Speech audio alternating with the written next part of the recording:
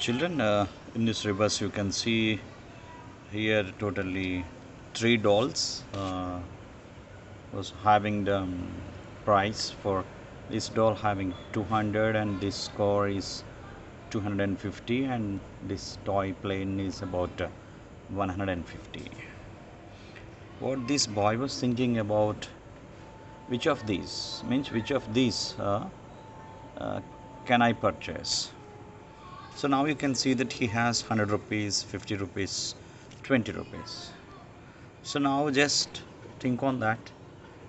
What makes about all these things which amount?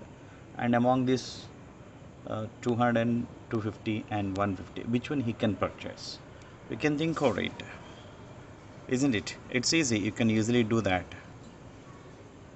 Do this